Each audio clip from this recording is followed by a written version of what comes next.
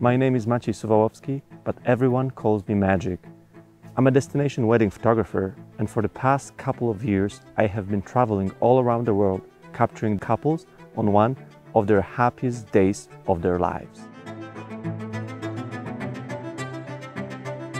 Weddings are fun, they are pure joy and happiness, and there is something magical about capturing them. For me, photography is like, you know, a portal to the past. You look at the photo and it brings back the memories, the places we've been to, the things we've done, the people we've met. I have been shooting Sony mirrorless cameras for a few years now, and I cannot express how much I love it in my work.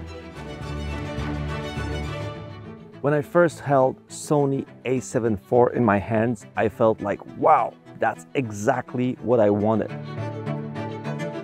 The power of the new autofocus system is just, is just everything that I want from a camera right now.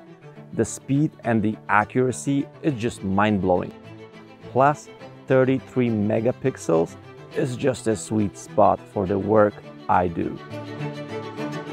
You know, the camera feels great in the hand, the grip is bigger, the buttons are improved, and what actually impressed me the most was the buffer. No, the fact that I can shoot bursts with basically no limits. The camera is ready whenever I want to take more photos.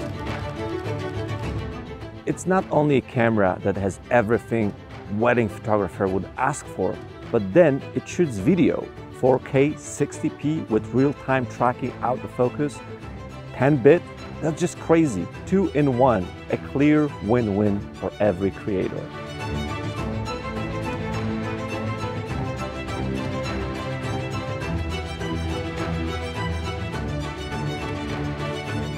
I really feel that Sony is listening to us, you know, photographers, videographers, because with every new model, we get all the stuff that we asked for before. And I think that Sony a7 IV is a perfect all-around camera that's going to be a first choice for a lot of creators.